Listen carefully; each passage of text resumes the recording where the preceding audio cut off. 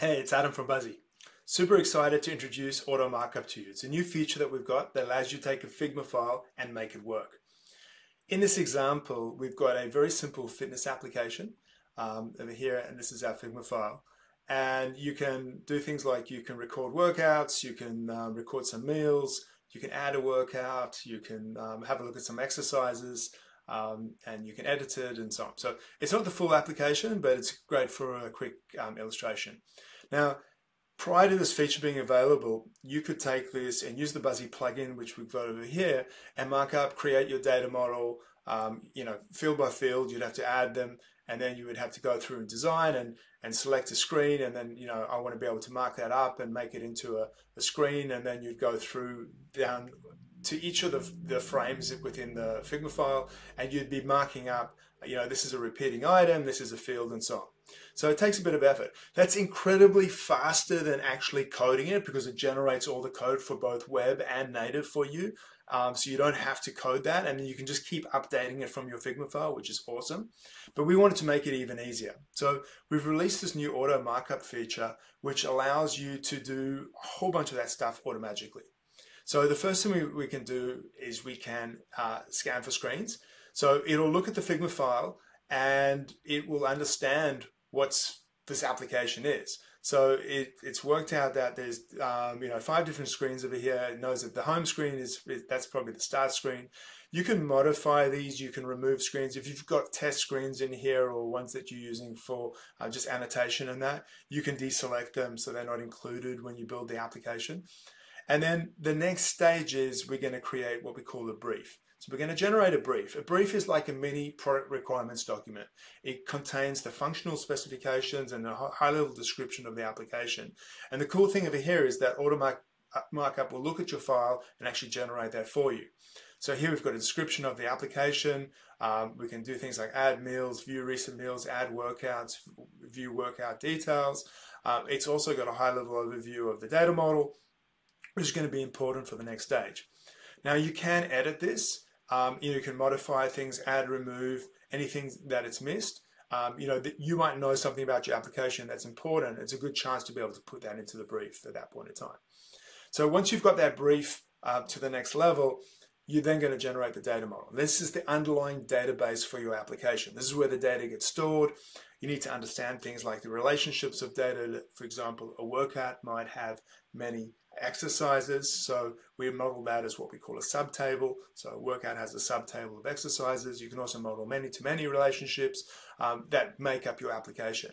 And the cool thing over here is that auto markup is going to create that data model for you just by looking at your file and taking in your brief as one of the inputs as well. So again, the, the better you describe things, and um, obviously what's in the application. So let's have a look at what it's done. So it's come up with um, you know, for example, if he has a meal, um, so it's got a, you know date, time, you know details. Um, it's got an image. Uh, we've got things like a workout. A workout's got a name. It's got an image. Um, we can see over here there's a subtable, so it's worked all that out uh, for exercises. And then each exercise has a name, number of reps, and a duration. That's a pretty cool starting point. And again, you can modify any of these items, um, add, remove fields, um, you know, correct the, the types, things that maybe might have got wrong. But in this example, it seems to have got most of it right. Now this is where the fun bit, so we've got our brief, we've got our data model. Now we're going to mark up our screen. So um, I would work in small batches here. So usually maybe three to five screens at a time. Um, you know, a little subsystem of things and get them working, as opposed to you might have, you know, 50 or 100 plus screens in an application. Now, this will take a few minutes. Uh, it runs them all in parallel we are using OpenAI's O1 preview model at this point in time. We're just seeing really, really good results out of that. And it does take a bit longer, but we think it's worth waiting for. Now, if you were to go and mark up these screens and fields and actions and fields um, and, and you know everything manually using our plugin, uh, it's going to probably take you between 30 to 60 minutes per screen. Now, that still is way, way, way faster than developing it, but this new auto markup feature will probably do this within a few minutes. So I'm going to pause over here. We'll come back in about a minute and a bit, and we'll see how far it's got.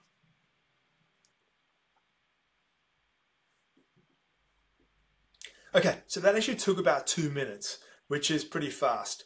Um, it runs all of those in parallel. And now we can actually at a point where we can preview this application. Uh, this will be in a browser. So what it's going to do is it's now going to take the application in Figma file that's been marked up using the plugin, using auto markup, it's done it automatically for us, and it's going to generate that first version of the application. Now, there's a QR code over there. You can view it in a browser. You can open it up on your device. Um, if you want to publish it into the app stores, there's some extra steps that you need to go through, obviously linking it with your store, but there's, um, you know, very quickly you can get something in the hands of a user to get actual real feedback and use the application. Now, everything that gets created over here is through, let's have a look at this um, in the browser. So um, I did click the option over there to generate some sample data, uh, which again is a huge time saver.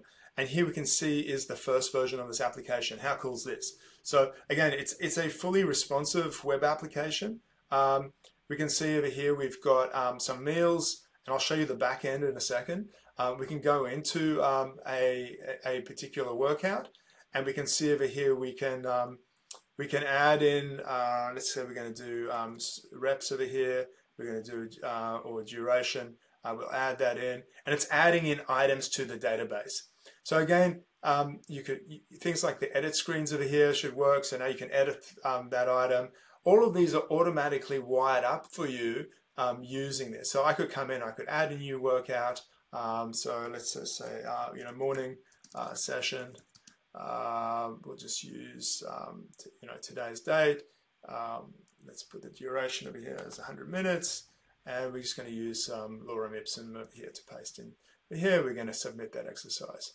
So again, that's added um, a new item over here, which is my morning session. I didn't put a photo or anything in there. Um, let's have a look at that. And we can see there we've got our morning session. So again, so this is real live data um, that is editable. Again, we didn't do like the detail screens for the for the meals and that.